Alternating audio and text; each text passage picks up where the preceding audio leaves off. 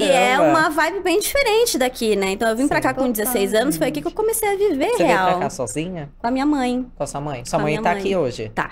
Tá, legal. E é, aí que eu comecei a viver, sabe? Assim, eu- aí que eu comecei a realmente ter referências de outras coisas que não eram aquela bolha heteronormativa que eu tinha. Aham. Porque as minhas referências eram aquelas.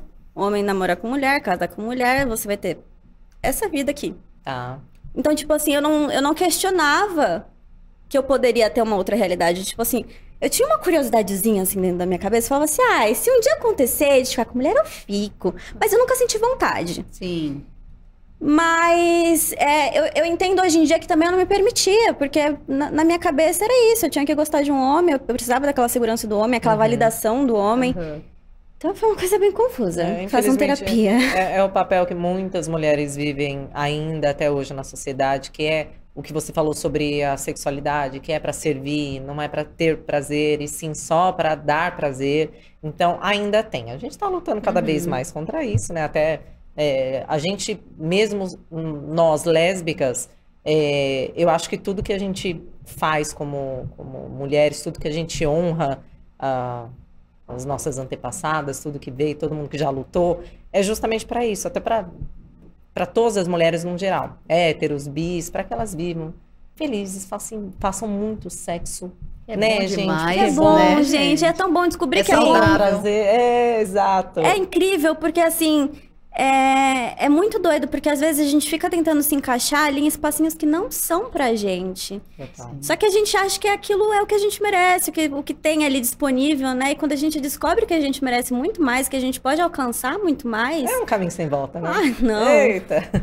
Olha, e, e- eu, eu, e eu, eu tô. Desculpa ficar tocando, né? Sem ser, querer ser indelicado, mas Não, bater falar. nesses assuntos que doem, porque eu tenho certeza que vai inspirar muitas pessoas. É, Esse sintoma seu é muito claro de relacionamento abusivo, né? Porque a gente vai deixando de ser quem nós somos e isso se reflete através do Uhum. peso. Olha que interessante, né? A pessoa vai se perdendo, perdendo partes dela mesma pra agradar o outro, pra viver o outro. Ele te controla, né? É, Nem sempre tem abuso físico, é, o mental, que é muito pior que foi o Às seu é caso, né? Que você foi perdendo peso, você foi se perdendo, né? Você foi É diminuindo. muito louco, porque assim, eu conheci é, esse cara quando eu tinha uns 19, eu tava indo pra uns 20. E eu tá. É, é até doido, porque assim, eu, eu lembro que eu levava muito isso pra terapia, que eu passei grande parte da minha vida.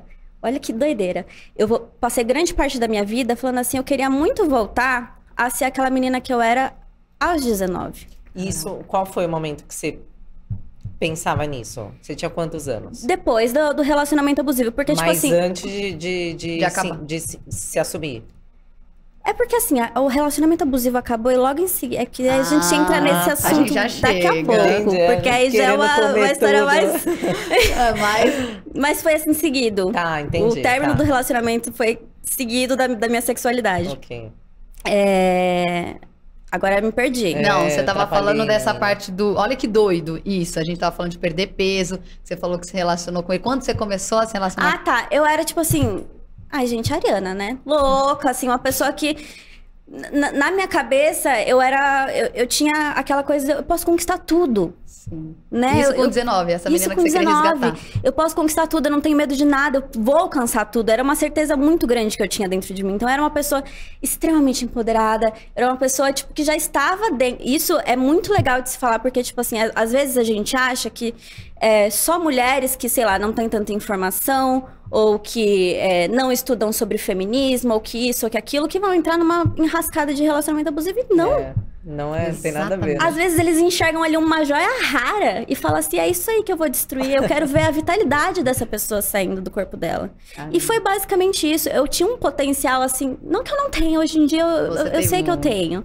Mas assim, eu passei por mu- muitos anos tentando voltar àquilo que eu era. Até eu entender que não teria como eu voltar àquilo que eu era, porque toda essa bagagem já tinha me transformado em uma outra pessoa Uau. foi caminho, entendeu?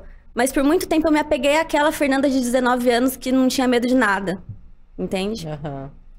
E foi um ano e meio de relacionamento abusivo, com diversos tipos de abusos psicológico, sexual, de tudo. Uhum. E Ah, é difícil arrepiada. falar, mas calma. Forte, forte, hein? Forte. É, eu, eu vi aquela, aquela força se esvaindo do meu corpo, sabe? E foi muito difícil. Foi, tipo, muito, muito, muito, muito, muito difícil.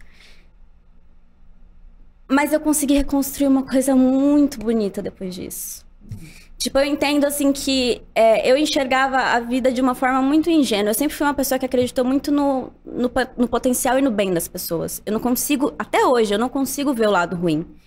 Eu sempre vou falar, não, mas essa pessoa ela pode estar fazendo maldade aqui, porque talvez ali no passado dela uma coisa. É, uhum. eu começo a dar ali umas as desculpinhas pra pessoa estar tá fazendo merda. E eu tinha, assim, um, uma ingenuidade muito grande. E eu comecei a ficar um pouquinho mais ligeira e entender, tipo, que eu precisava ter limites dentro da minha vida, que eu não podia deixar que as pessoas fizessem comigo tudo o que ele fez, toda aquela tortura psicológica, toda destruir tudo de bom que tinha dentro de mim, sabe? E por muita sorte eu tive uma rede de apoio muito linda. Amigas que realmente não desistiram de mim, porque tipo é muito é importante pra oh, caramba. Oh, meu né? Deus! E ela tá olhando pra uma aqui, ó. ó, ó ela... Tem uma aqui. Tem uma ó, surpresa tem uma aqui, que já já vocês vão conferir. Uma pessoa que cuidou muito de você, né, Fê? E Todas. enquanto você se, você se recupera, só é. Ai, nossa, gente, que... eu tô na TPM, vou Eu, eu tô aqui espetacular.